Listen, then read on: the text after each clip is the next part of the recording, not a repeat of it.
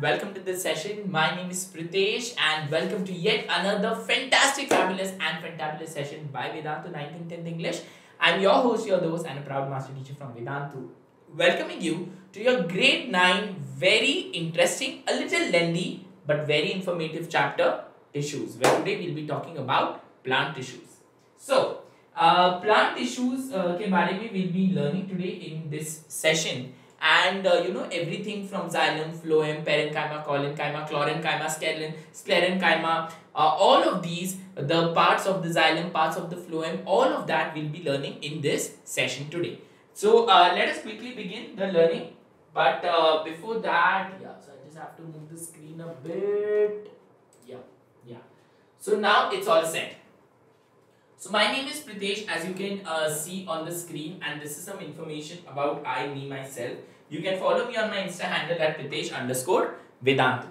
Okay? So let us begin. What is a tissue? So basically, as you know that every organism is made up of cells. So cells combine to form tissues, tissues combine to form organs, organs combine to form organ system and all the organ systems together make the organism. So cell, uh, tissue is a cluster of cells which have similar structure and they perform a similar function because all of them are made of the same kind of cells. So one tissue will perform one particular function because it is made of the same type of cells. Then structural organization. A cell forms a tissue, forms an organ, forms an organ system, forms an organism.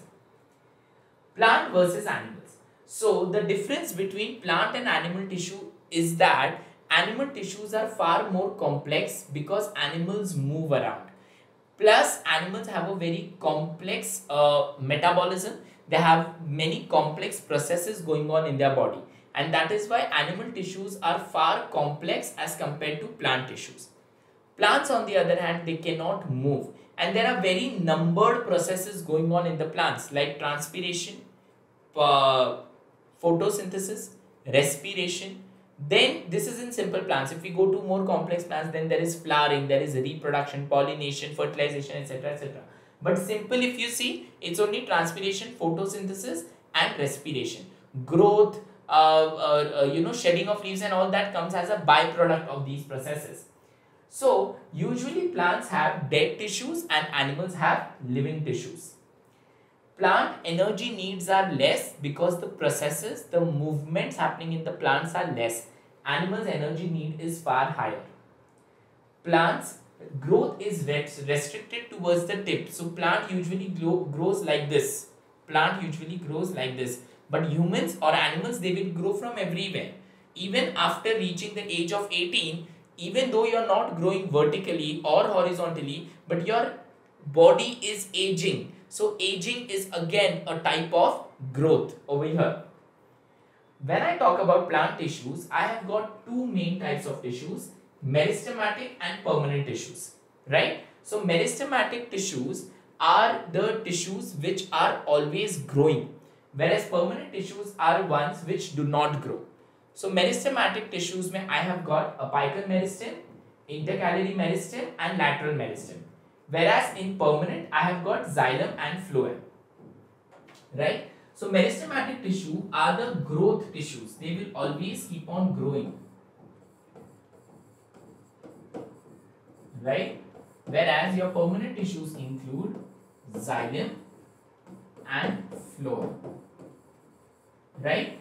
These are your permanent tissues which do not grow, which are meant for carrying out the different processes.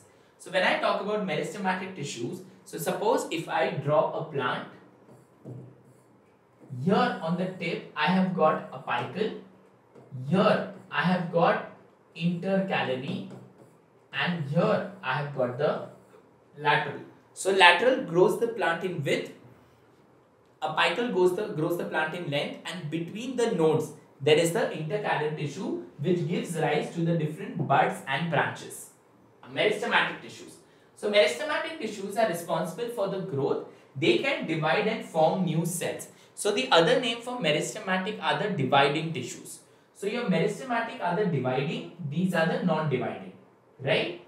Characteristics of meristematic tissues are that they rapidly uh, divide, they have thin cell walls, they have a prominent nuclei, dense cytoplasm and usually lack vacuoles. So these are the growing cells, these are the dividing cells and that is why they undergo rapid cell division. They have a very thin cell wall because their function is not protection, their function is not uh, you know support, their function is just growth. So they have a very thin cell wall, they have a very prominent nuclei. Now if you look at this point, prominent nuclei, the reason behind that is that these tissues, they have some continuous activity to perform and for that activity to perform they need to be very very efficient and that is why these tissues have got a prominent nucleus because nucleus is the CPU. They have a very dense cytoplasm with mitochondria and organelles and they lack vacuole. They do not have a vacuole. Apical meristem. It is located at the tip of the root and the shoot. It increases the length of the root and the stem. Lateral meristem. It is on the lateral sides. It increases the girth of the root and the stem. So basically see all these. So the plant has become from this to this. It is because of lateral meristem. And final, you have got the intercalary. Again, the screen got stuck. So intercalary is present between the nodes. Just a minute. Yeah.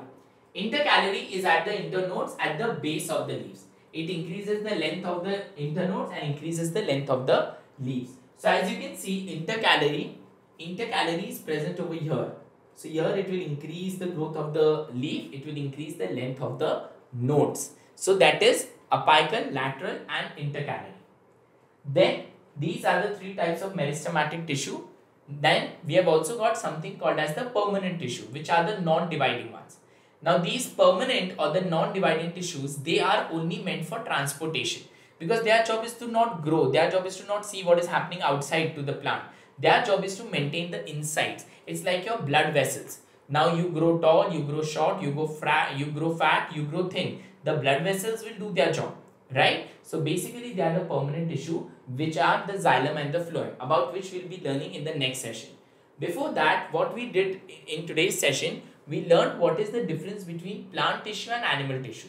We also learned about the types of plant tissue that is meristematic and permanent. Under meristematic, I've got apical, lateral and intercalary. Under permanent, I've got xylem and phloem, right? So I want you to solve a quiz which is given in the description of this video in the description box. Solve the quiz and see how much have you understood about tissues this particular chapter tissues it is a little lengthy as i told in the beginning. And there are a lot of terms to be remembered. So for that it is very important that you study this chapter bit by bit by bit by bit. Because if you try to complete the entire chapter in one go first time then it gets a little difficult. When you are already well aware of the chapter and you have done it two three times then it becomes a little easier. So do the quiz and you can learn with me and all your amazing teachers of Vedantu 9th and 10th, whether it is Abhishek sir, Harsh sir, Amrit sir, Anubha ma'am, Ankara ma'am, or whether it is, uh, you know, Anup sir, Bhavna ma'am, or uh, Shilpi ma'am, Sana ma'am, or myself, or there are so many, I don't even remember the names, there are so good teachers, Amit Rohra sir. If you want to learn from these teachers at a very, very nominal rate, that is only rupees 20 per day. For English, Math, Science and SST, only rupees 20 per day then you must take the Vedantu uh, AI live classes where you are getting to learn for only rupees 8100 so the actual cost of the course is rupees 9000 but once you put the coupon code PREPRO you only pay rupees 8100 for the entire year. This cost of 8100 is only is for the entire year you can play your that there are different modes of payment you can pay through the card net banking PhonePe or upi Paytm, Amazon Pay or MobiWay. So there are different ways through which you can pay and you can take the benefit.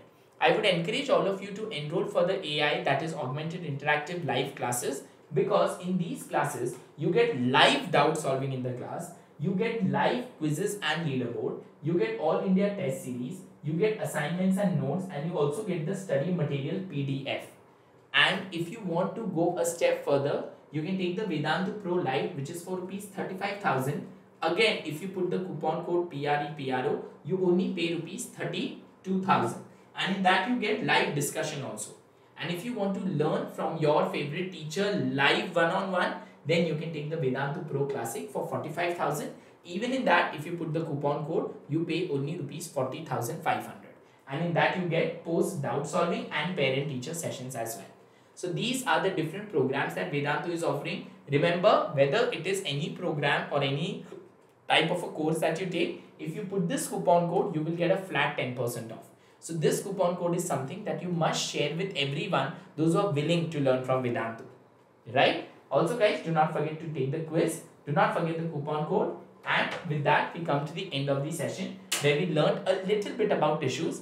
Picture abhi baki hai. There is a lot more that we have to learn about tissues. We have to learn about permanent tissues and then when we move to animal tissues, then the journey is going to be a little longer because then we have to learn about the skin, the bone, the blood, the, you know, so many different types of tissues. You know, the different organs, the different types of tissue glandular ciliated simple epithelium squamous epithelium there is a lot to learn.